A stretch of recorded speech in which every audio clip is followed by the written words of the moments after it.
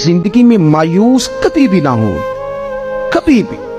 हमारे यहाँ ना लोग बीमार हो जाते हैं तो परेशान हो जाते हैं। ओ फौजी अब तो मुझे भी छह साल हो गए। ओ खुदा के बंदो तीस तीस साल कौमे में रहने वाले मरीज़ उठ गए। डॉक्टर जिनको लिख के दे चुके थे, तुम ठीक नहीं हो सकते। शिवाएँ देने वाला तो मेरा रब है। उठ के बैठ गए। मायूसी, कमज़ोरी, कुछ नहीं हो सकता।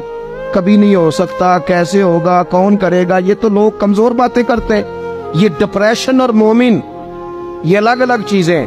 टेंशन और मोमिन, ये अलग अलग चीज़ें। मुसलमान कोई लवारस है कि टेंशन ले? रब रसूल के मानने वाले भी परेशान हुआ करते। ओ, हम उस रब के मानने वाले हैं जो कहता है कि तुम हद में ना परेशान होना कि सवेरे मिलेगा तो शाम को नहीं मिलेगा, माज अल्लाह। और शाम को तुम्हें देखा जाएगा तो सुबह ना देखा जाएगा। तुम उस करीम के मानने वाले हो जिसे ना ओंग आती है, ना नींद आती है। हर वक्त तुम्हें देखता है, हर